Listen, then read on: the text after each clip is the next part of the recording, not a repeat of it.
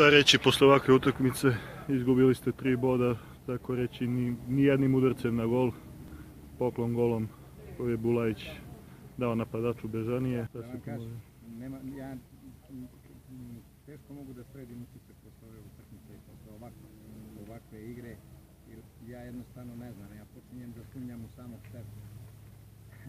počinjem da sumnjam u samog sebe, da se nama dešava već drugi put, prošli put kući primimo gol takav kakav smo primili, danas primimo ni iz jednog šuta, ni iz jednog centra šuta koju lop- loptu da uhvati čovjek, primimo gol.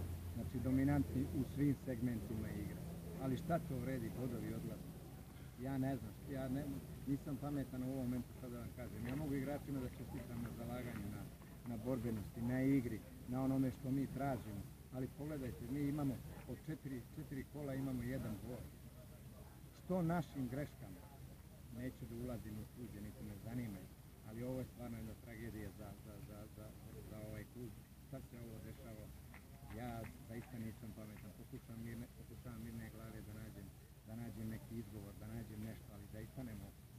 Zaista ne mogu da ga nađem, jer ovo su početničke greške, oni pioniri ne prave takve greške.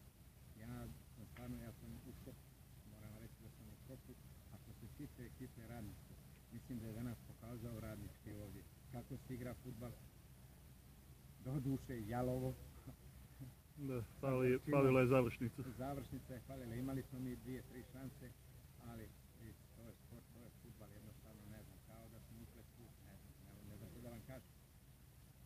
Za- Zaista ne mogu da vam kažem ništa drugo osim, osim toga, da sagledam neke stvari realno, kako smo mi igrali, kako smo, se, kako smo igrali prvo i drugo poluvrijeme, vrlo pametno, strpljivo, sa, sa posjedom lopte, sa, m, sa dobrom tranzicijom. I samo je hvalio taj završni, završni udar na početku poluvremena, stopostotna šansa. Grkajac, Marko Mančić, ne damo gol i onda ga primimo niješte ga. Znači, Da, već u sljedećem. već u- ni, znači, Nije ni, što- ne, nevjerovatno, zaista. Ja znam da se greške dešavaju, ali se nama previše često dešavaju ovakve greške. Desila se u, u, u, u po- protiv. Zaista ne znam.